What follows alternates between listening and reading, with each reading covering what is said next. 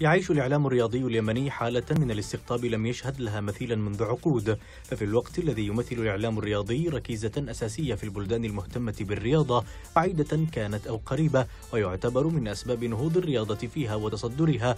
نجد العكس في بلادنا فبسبب المماحكات المستمرة ما بين المنظومة الرياضية في اليمن لم نسمع عن تكوين كيان رياضي يجمع حوله كل المهتمين والمختصين بهذا المجال.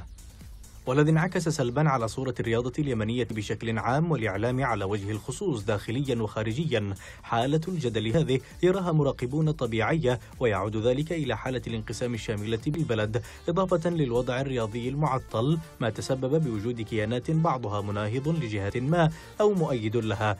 شرخ أدى إلى تشتت جهود تعزيز المصالح الرياضية العليا إذ أن الغاية الأولى لدى أغلب الكيانات هو فرض نفسها كممثل عن الشارع مع إقصاء للأطراف الأطراف الأخرى. حالة الخلاف الحاصلة ما بين المؤسسات الإعلامية التي تتبع وزارة الشباب والرياضة والكيانات الرياضية التي لا تتبعها سبب كاف يفسر حالة الفشل والجمود الإعلامي الحاصلين في اليمن يقول المراقبون.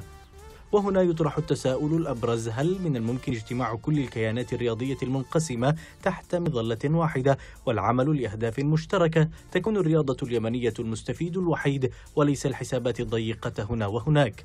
وهل من الممكن إقامة انتخابات في كل المحافظات؟